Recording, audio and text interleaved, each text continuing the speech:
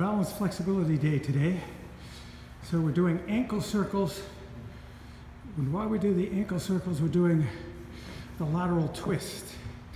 We're just circling the ankles towards the way we're going. So we did five, five, and five, each leg in each direction. How about take the other leg, Kim, and go in the other direction?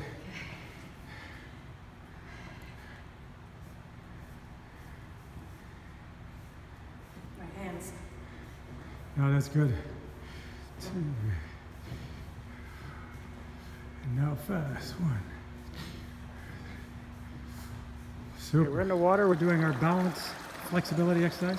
Hunter standing on a barbell with one foot. And he's swinging the leg laterally as high as he can.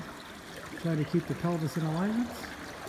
We will do five slow, five medium, five fast with each leg. Thank you.